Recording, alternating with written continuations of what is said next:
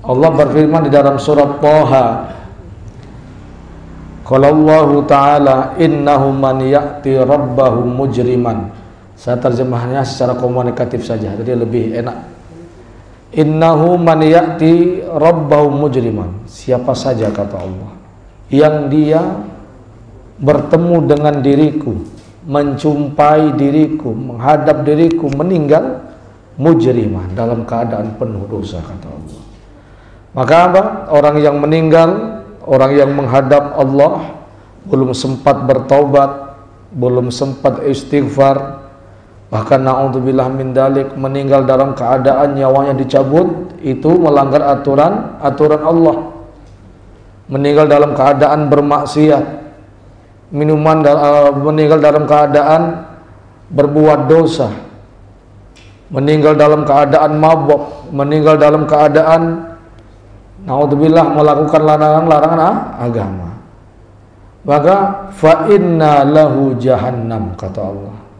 Maka aku akan berikan aku akan sediakan aku akan peruntukkan kepada orang tersebut yang menghadap diriku dalam keadaan penuh dosa yaitu neraka jahanam kata Allah.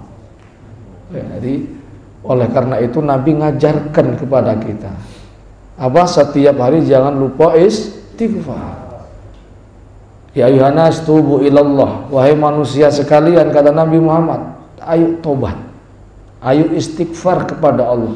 Saya kata Nabi Muhammad Satu hari taubat istighfar itu seratus kali kata Nabi besar Muhammad Sallallahu Alaihi Wasallam. Oleh karena itu Wasiat daripada ulama-ulama Wasiat daripada kekasih Allah Wasiat daripada masaih dan guru-guru kita Jangan pernah meninggalkan daripada rotib al-haddad. Karena ada jaminan, jaminan dari Sahibul Ratib siapa yang dia lazim yaitu membaca ridhku maka saya berharap orang tersebut meninggal dalam keadaan husnul khatimah. Eh, makanya masa Allah kita ini luar biasa ini majelis ya. La yamutu fiha wa la yahya, enggak hidup enggak mati di neraka jahanam. Abadal abadin selama-lamanya naudzubillah min dalik. Oleh karena itu uh, di dalam rotib kan selalu kita baca Allahumma inna nas'aluka ridhoka wal jannah wa na'udzubika min sakhatika benar. Jadi jangan pernah kita punya pemikiran bahwa kesalahan yang kita lakukan, dosa yang kita lakukan itu enggak ada pertanggungjawabannya. Semuanya ada pertanggungjawaban.